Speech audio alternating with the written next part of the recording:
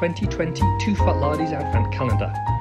Pull up a chair, maybe help yourself to a glass of mulled wine or eggnog, put your feet up, and join me as we ask Richard.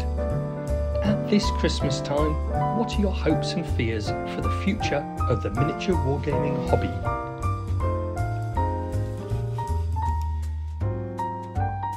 I am actually full of hope for the future of historical wargaming, but I do think that there is a mix of hope and fear on the basis that the future could be bright and should be bright, but we have to be sure not to drop the ball through basic errors as we go forward towards that goal. Um, historical wargaming is evolving. It's evolving to the point where the term historical wargaming itself could potentially be seen as a challenge. Um, let me describe what I mean by that. 30 years ago, my friends were all uh, historical gamers. Not all of my friends were historical gamers, but my friends who were gamers were all historical gamers. They pretty much gamed nothing other than historical periods, fighting, real wars. But now we're seeing wargaming as a much broader church. Historical gaming may just be one part of the portfolio of games that people play. And most of my friends now um, play a complete mix of games and not just war games gaming per se is booming. Board games, card games, role playing games. You go to, you see loads of gaming cafes when, when I go around the country, uh, I do, and they are booming. Historical wargaming, we have to recognise, is a tiny fraction of that world of gaming. But we are essentially sharing the same pleasures and experiences in as much as we're, we're playing games. I think going forward we have two stark choices. Um, we can take a history purist line, batten down the hatches, try to isolate ourselves from lesser forms of gaming, as some would have it, or we can embrace change and encourage crossover with the broader gaming, gaming community. Now, where I'm where I am concerned is that we do still have a rump of gamers, all too vociferous, unfortunately, that think there's only one way to play war games. Now, unsurprisingly, that always corresponds with the way that they do it. Now, I've I've been writing articles for War Games magazines for 30 years now. I've been a game designer for 20 years. So, all of that time, I have attempted to be a positive force in, in historical wargaming that promotes what we do. Uh, this year, for the very first time, I was told by somebody that I was destroying the hobby. The games that I was promoting were not real war games. Real war games had hundreds, if not thousands, of figures.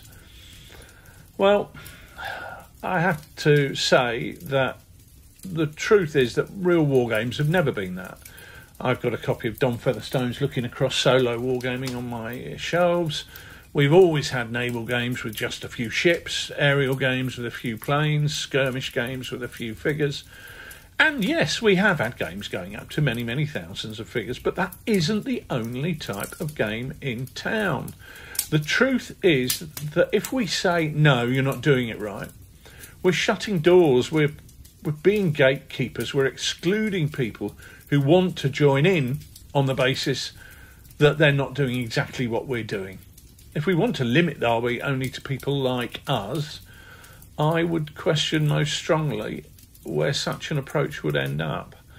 Um, the hobby is changing. There are more female gamers. There are an increasing number of more gamers who are not white and male.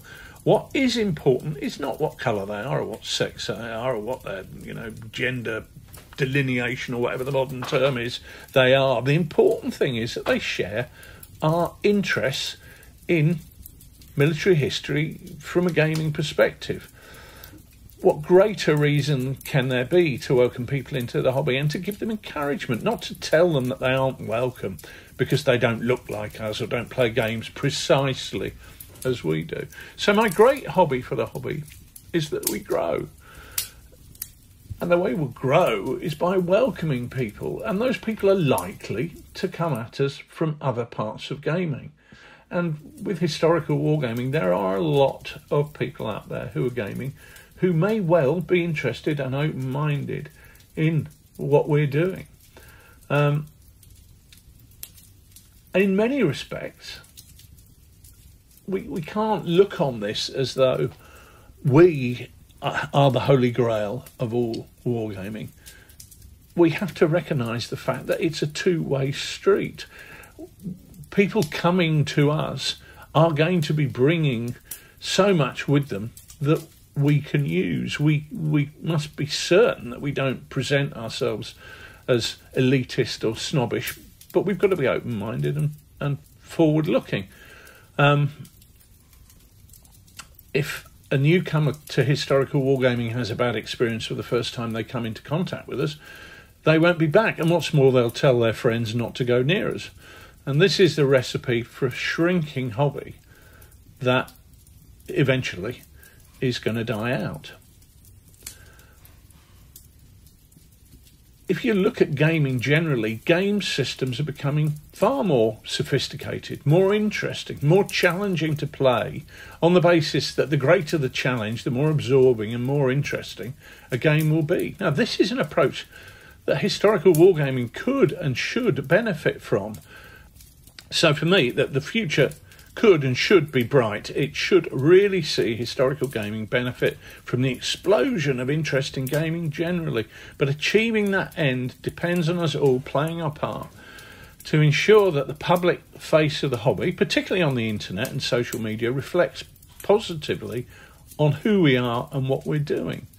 We need to be aware uh, when new gamers are coming on social media, and we need to be doing all we can to help them take their first steps and make sure that they think they're, you know, a good bunch. These are people who I want to be involved in. Advertisers need to ensure that they're not endorsing sites that present a distorted image of historical gaming as being just crammed with crusty old gamers arguing with each other and telling people that they have to do things in their way in order to be valid. Yes, we do need to be prepared to accept people who don't do things like us or aren't mirror images of us. But let's face it, these are people who share an interest with us, and surely that is the greatest starting point for us wanting to have them involved in our hobby.